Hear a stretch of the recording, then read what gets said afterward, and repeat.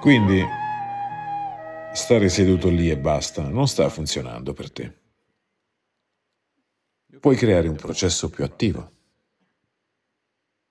Così tanti modi di fare le cose vengono istituiti perché anche la stessa persona, una persona individuale, potrebbe non essere nello stesso livello di ricettività e di apertura ogni giorno della propria vita.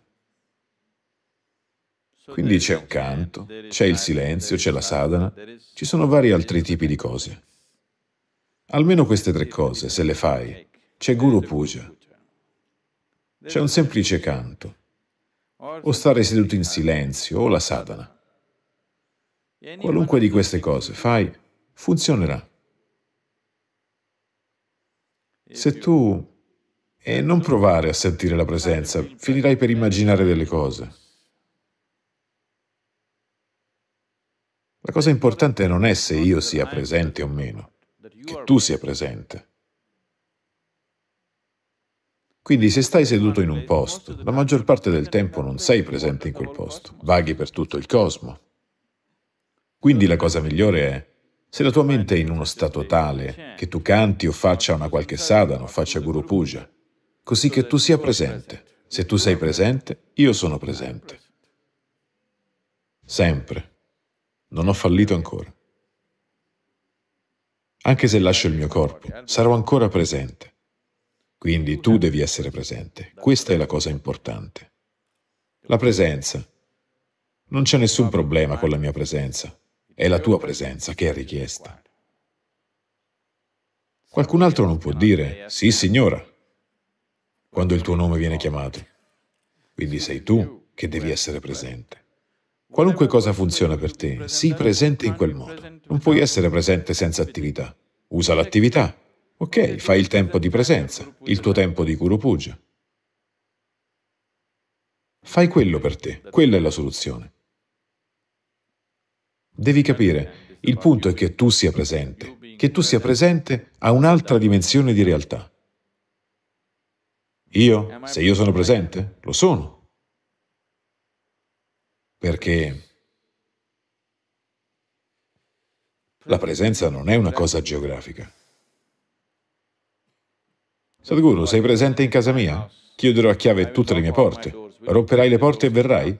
Perché almeno non lasci le tue porte aperte? Perché dovrei forzare la porta come un ladro e venire? Il ladro comunque non forza, si intrufola. Come un bandito.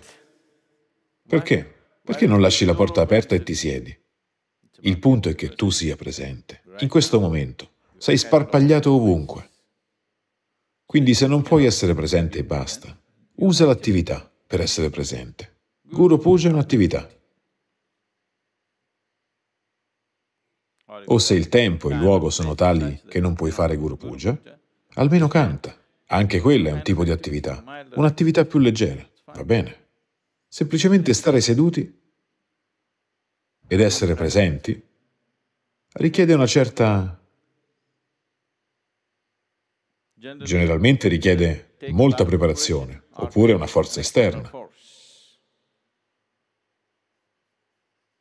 La maggioranza delle persone, quando arrivano al primo giorno del programma Ingegneria Interiore, la prima cosa che dicono è tre ore, non posso stare seduto, quindi l'abbiamo fatto di tre ore e un quarto.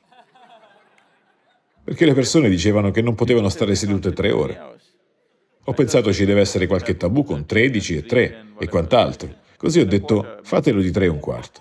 Sadhguru, gli americani non possono stare seduti tre ore e un quarto. Tutti i nostri insegnanti e altri mi consigliavano. Ho detto, va bene, tre ore e un quarto staranno seduti. Solo il primo giorno erano in difficoltà. Dal secondo giorno in poi quasi tutti stavano seduti, tranne le persone che hanno qualche problema medico. Questo va bene.